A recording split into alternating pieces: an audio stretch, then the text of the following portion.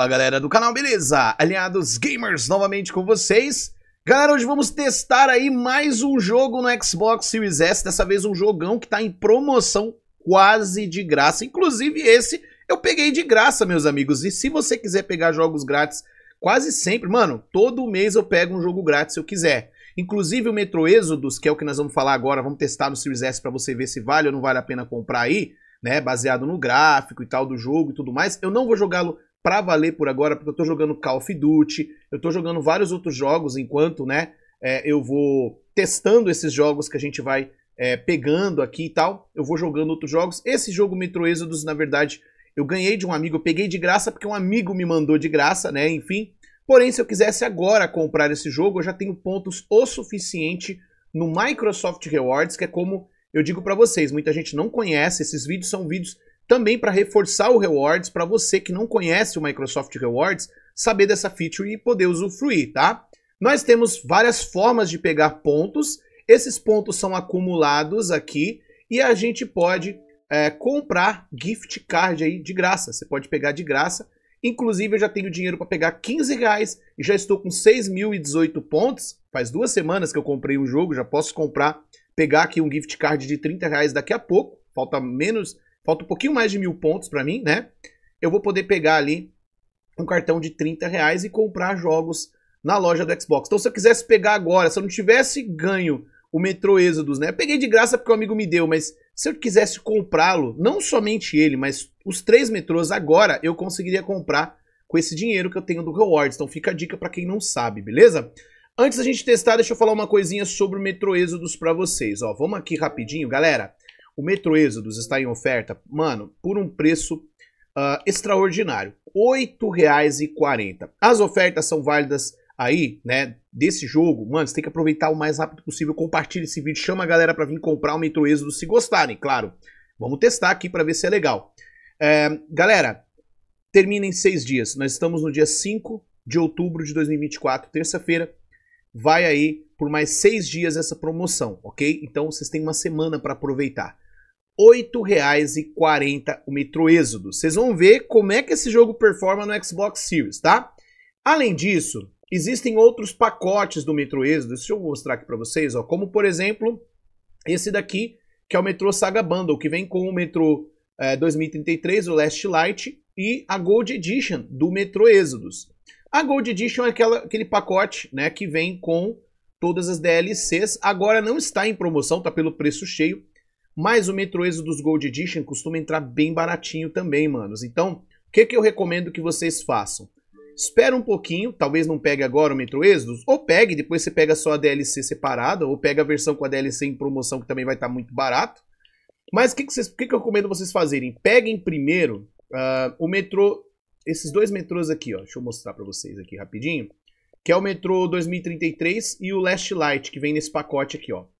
O metrô 2033 é o primeiro, tá? Não tem legendas em português, infelizmente, mas dá para você colocar o console em espanhol que o jogo fica em espanhol. Não lembro se dá para você mudar dentro do jogo o idioma, tá? Para pelo menos jogar em espanhol.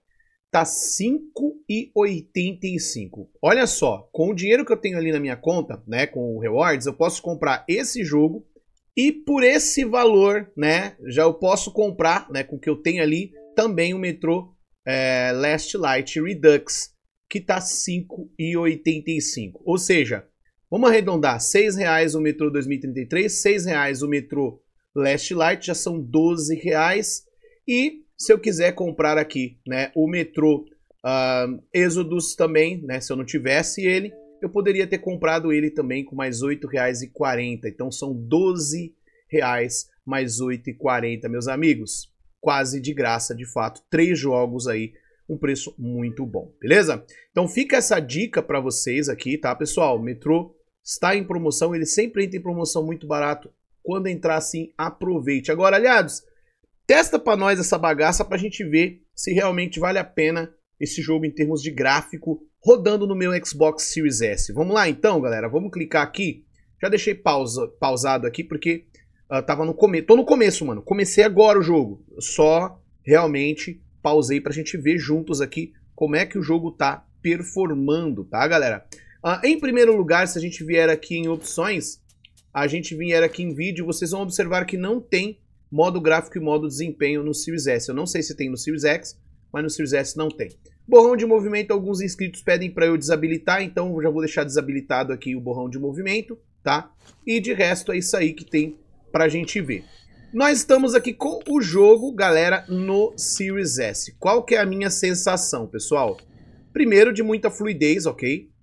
Ó, você gira aí, o jogo, o jogo tá bem fluido, né? Uh, aliás, tá 60 FPS, cara, parece que tá sim. Se não tá, tá próximo, né? A sensação que dá é que tá sim, tá? Aqui tem umas pessoas que infelizmente pereceram congeladas, né? Ou sei lá, por algum outro motivo, né? Enfim. E vamos, vamos seguir. Galera, o que, que é o metrô, né? Eu joguei o metrô 2033 e o Last Light na época do X... Opa, passou bicho ali, passou bicho ali, eu tenho medo desses bichos. Eu joguei os dois primeiros metrô, esse aqui é o terceiro da franquia, né? Eu joguei lá no Xbox 360, tá? Segure LB, vamos ver que eu não lembro nada, faz muito tempo que eu joguei aqui, pra pôr fogo aqui na, na, nas teias de aranha. É, então assim, eu joguei há muitos anos, eu mesmo se eu, fosse, se eu for jogar ele por agora, o, o bom era jogar as versões remasterizadas ali que eu tenho, né? Pra poder uh, continuar a história, lembrar da história do Artion, que é o personagem principal do jogo e tudo mais. É um jogo, cara, os 2033 e o Last Light são bons jogos, tá? São excelentes jogos. Só que assim, eles não são FPS, que nem você tá vendo aí que é um jogo de tiro em primeira pessoa. Eles não são FPS focados só em tiro, porrada e bomba, ok? Eles são jogos, na verdade, com bastante é, conteúdo de exploração, bastante conteúdo de sobrevivência, sabe? Você tendo que andar em ambientes hostis como lugares extremamente congelados e também com uh, como foi a, lore do jogo é sobre coisas é, de, de, armas biológicas, né, de, de explosão biológica e tal. Então você tem contato com radioatividade, né, bombas radioativas e tal. Então você tem ali uh, contato com radioatividade e isso aqui eu tenho que usar o negócio, né? Deixa eu ver o isqueiro. E isso faz com que você tenha que se adaptar a ambientes hostis. Caramba, veio umas aranhas aqui, que da hora. É, você, você acaba é, tendo ambientes hostis contra você e monstros que foram afetados pela radiação. Então você encontra bichos estranhos também tudo mais, né? Além de ter que, de ter que lidar com outros, outras pessoas, né?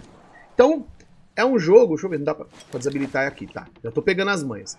Então é um jogo, galera, que não pense assim, ah não, nossa, é um jogo parado. Não, galera, vá preparado para isso. É um jogo de FPS, de tiro? É.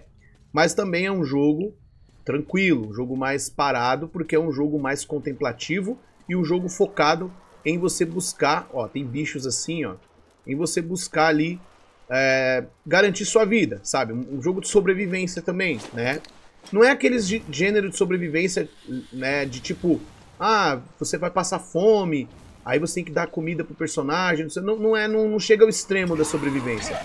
Opa! Eita! Fui atacado. Ai, meu Deus. Calma aí, produção. Me ajuda aí, produção. Vocês não me avisam que eu vou tomar susto? Ô, produção. Rapaz. Que isso, mano? Tô aqui explicando. É, é esse tipo de... Vocês entenderam como é que funciona o jogo, né? É isso aqui que vocês viram. Você tá distraidão, daqui a pouco aparece o bicho e te arrebenta. Então, agora observe que eu tô meio sangrando ali, ó. Tá vendo? No canto superior da tela mostra a minha vida, ó. Chegou os bichos, ó. Ainda bem que... Mano, essa arma é muito boa, hein? Vou carregar aqui. Então, embora ele não tenha esses elementos de sobrevivência muito... Uh, muito forte, né? No sentido, ah, tem que beber água, tem que dormir, tem que não sei o quê. Uh, pelo menos assim, os dois que eu joguei. Esse aqui eu não sei, né? Se eles colocaram esses elementos. Mas ele tem essa vibe de você ter que sobreviver a ambientes hostis tanto questão climática quanto em questão.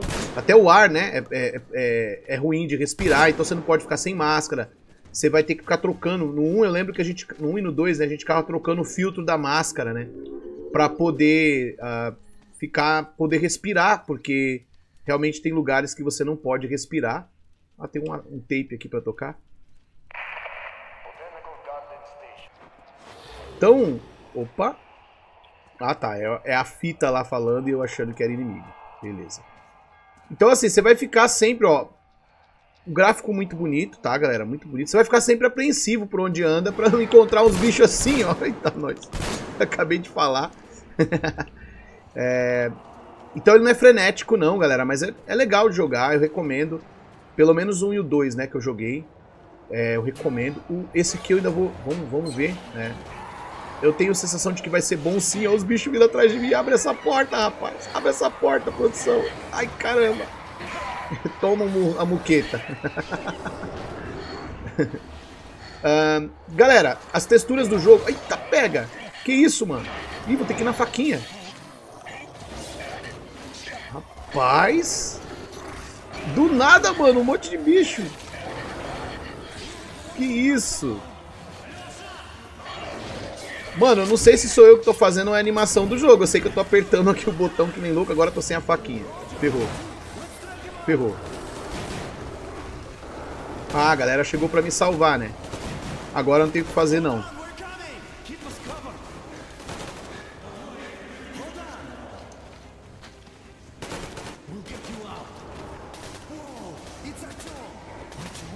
É, o Artion, ó, tá vendo? Personagem protagonista mesmo lá do 1 e do 2. Então continua com ele a história aqui, né? Ó, as cutscenes são bonitos, o design de personagem, ó.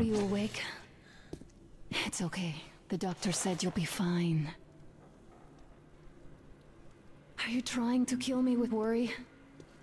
What if next time you don't return from the surface? There's no one out there, Artyom. No one to find, no one to talk to. If there was, don't you think they'd be here already? Muito bonito, né? Talked about this again and again. You have to accept it. There's only us. Colonel. Hello, Alex. There you are, you stubborn fool. How many times are we going to have this conversation? I don't care if you kill yourself over this silly dream of yours. But don't you see what you're doing to my daughter?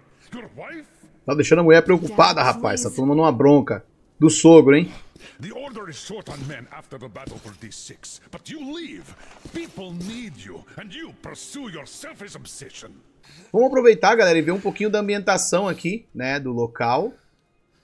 Tô achando bonito, como eu disse, não é um jogo novo, é um jogo já antigo, né? Mas ele tá muito bonito, cara, está muito, muito bacana. Que pode, pode apagar a luz, pode acender, no caso a vela, né? É, tá bonito, tá legal, tá interessante sim o jogo. Ambientaçãozinha aí, ó, bem o lugar todo todo detonado, né? Já que eles estão em lugares improvisados, né? Não tem como arrumar, reformar e tal, né? É tudo acampamentos ali improvisados. E eles têm os setores, né? Ah, aqui é a área de, de, provavelmente de cuidar de pacientes, né? E tal. Fazer o primeiro atendimento ali, clínico. Enfim, Uh, e é legal também essa cidade, esse, esse cidade entre aspas, né, que a gente vive aí nos túneis do, dos metrôs e tal. É, é, interessante porque são lugares com bastante personagem, bastante vida, né? Bastante personagens aí, cada um com sua função e tudo mais, né? Tô gostando sim do jogo, viu, pessoal? Acho que, poxa, o investimento me parece que vai fazer valer a pena, principalmente Pra quem conhece a história do Artyom, inclusive eu recomendo muito. Joguem o 1 e o 2, mano. Vale muito a pena.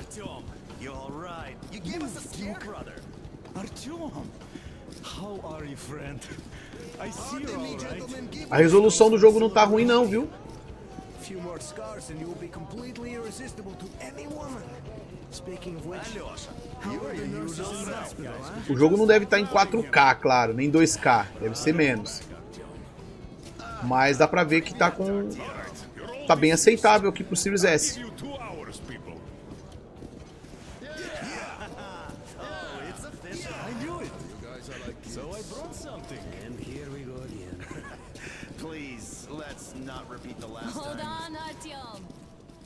Da hora. Aí é muito da, da história do personagem, a convivência deles com dele com as pessoas aí no, no, no ambiente dele. E aqui um pouquinho do mundo aberto, ó. É isso? Vamos jogar a gente já no mundo aberto? Geralmente essas cenas... Se bem que assim, o primeiro ele não tem mundo aberto, tá? O primeiro e o segundo. Ele tem cenas externas, né? Ele tem o, a parte externa.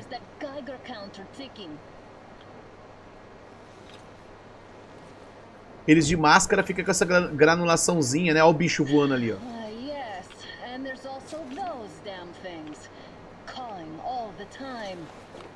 Essa granulaçãozinha dos lados da tela são a, ah, o, a umidade da neve e tal, né?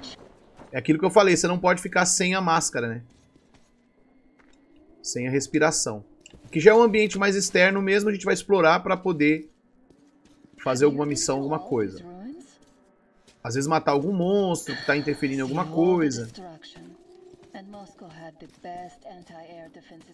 Eu sou fuçador, então... Olha isso, galera. Olha o cenário, que bonito, mano. Que bem feito, ó.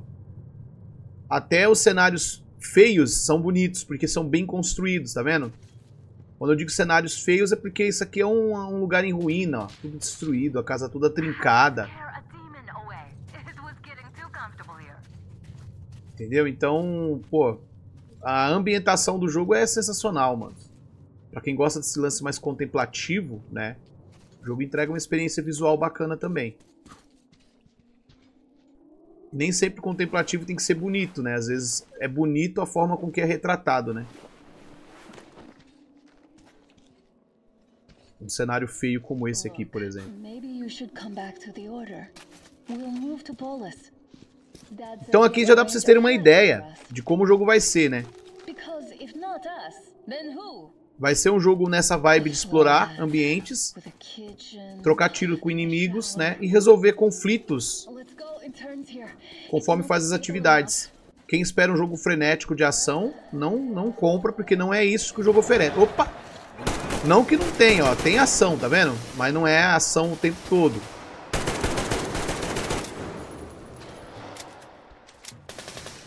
E a arma emperrou, ferrou. Aí, desemperrou. Ainda bem que ela. Ainda bem que eu tô com cobertura, né? Trocar o filtro. Pronto, troquei o filtro. Ah, é só apertar que você troca o filtro. Enfim, meus manos, é isso. Eu tinha que mostrar aqui pra vocês. Porque vale muito a pena pra você até pegar de graça aí com o Rewards. Vale muito a pena, tá? Metro Exodus, o jogo da vez aí. Que eu queria mostrar pra vocês. Gostei muito do que eu vi aqui. Tive a sensação mesmo de estar jogando o 1 e o 2, então é nessa vibe mesmo que o jogo traz. Ele continua na essência ali pelo que eu vi até o momento. E quero deixar então aqui para vocês a recomendação. Se você gostou do vídeo, deixa o like, se inscreve no canal. Eu vou ficando por aqui. Um grande abraço a todos vocês, valeu e falou! Obrigado galera por assistir até o final. Já deixa seu like, se inscreveu me faz vencer. Aliados Gamers novamente com você.